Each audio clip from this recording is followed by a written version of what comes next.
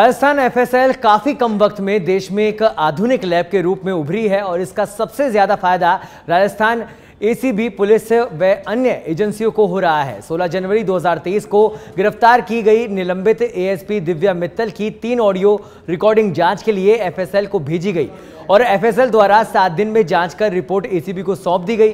Police सूत्रों की माने तो दिव्या मित्तल द्वारा परिवादी से जो रिश्वत राशि मांग करने की ऑडियो सामने आए हैं, वो तमाम असली है और उनमें किसी तरह की कोई एडिटिंग नहीं की गई है। एफएसएल द्वारा की गई जाँच में इस बात का खुलासा हुआ है कि वही राजस्थान एफएसएल द्वारा पहली बार किसी केस में ऑडियो ऑथेंटिकेशन उपकरण का उपयोग किया गया है।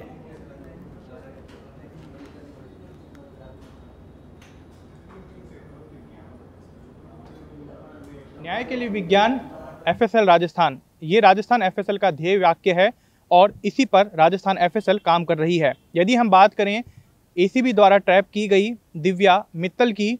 तो दिव्या मित्तल के प्रकरण में राजस्थान एफएसएल ने वॉइस सैंपल की जाँच करके महज सात दिन के अंदर रिपोर्ट राजस्थान एसीबी को सौंपी है और उस रिपोर्ट के आधार पर अब एसीबी कोर्ट के अंदर जो तमाम दस्तावेज़ हैं, वो प्रस्तुत करेगी और कहीं ना कहीं अब दिव्या मित्तल की जो मुश्किलें हैं, वो बढ़ती हुई नज़र आ रही है।